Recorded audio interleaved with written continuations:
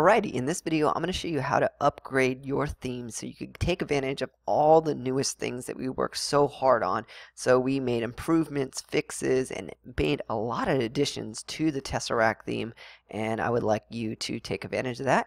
And the way you do it is you log into your WordPress and you may see something like this that says updates right here in the WordPress. So once you're logged in, you could click updates and you could scroll down and you could see this and you could click update theme. So go ahead and do that. Or you could go into appearance, click on themes, and then you'll see this new version available right there. And you could click on that and all you have to do is just click on update now and it will update your theme and you will take get advan take advantage of all these really cool things here.